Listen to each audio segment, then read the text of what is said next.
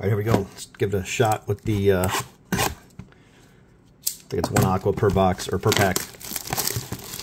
Take a look at the Fanatics. 2024 Topps update.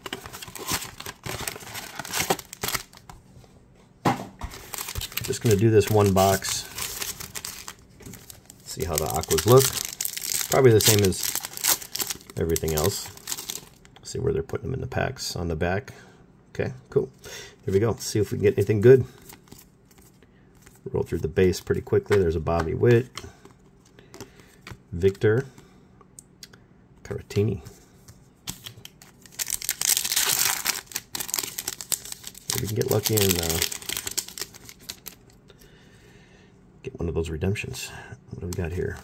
Backwards for no reason. Rafaela. Hey, there's a Sheehan. That's cool. Retail blue. Spencer Arrighetti. That's a silver foil. Adley All-Star, Mr. Lee. Hey, and a Juan Soto. That's cool. Soto in his Yankees uni. See how long that lasts. If they sign him. All right, got a gold card coming up here to 2024. Abraham Toro. Logan Webb All-Star and Mitch Garver for the Seattle Mariners.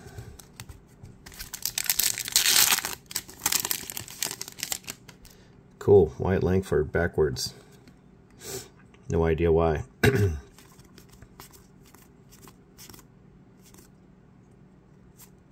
Corbin Burnes on the 89 design. Who's this? Jordan Leasure. Rookie for the Sox.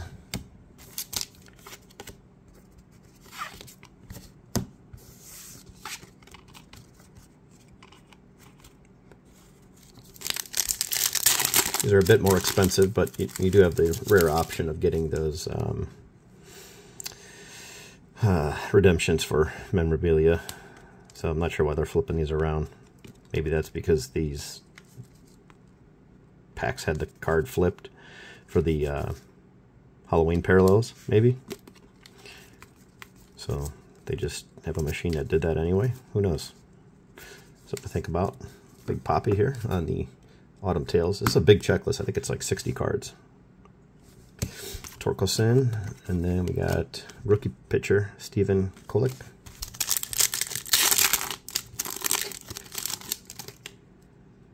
So you do get more cards in this um, with the bump in price and then the one aqua per pack. So we get a chrome here of Oneil Cruz and Newman.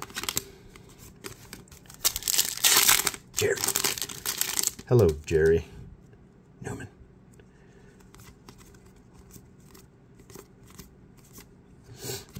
Um, we got uh, Martin Perez uh, to 9.99.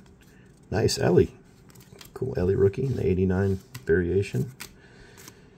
Richie Palacios. He was with Cleveland. And the Rays uni there.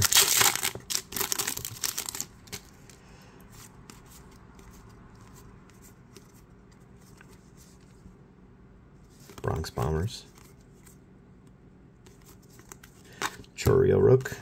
And a Blaze Alexander on the True Rookie. That's cool. Blaze Alexander.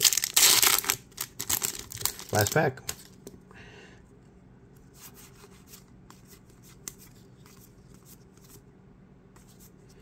We got a Pete Crow Mystical and Grichuk. All right, so that's the box. Um,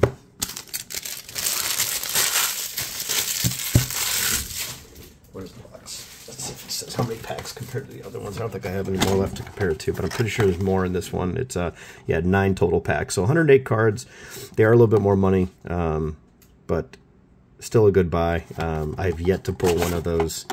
So maybe on Friday when we do the uh, live card shop show, we will see if we can snag some bigger hits and redemptions. Um, there's those same inserts. Topps Black Gold, Heavy Lumber, the usual stuff here.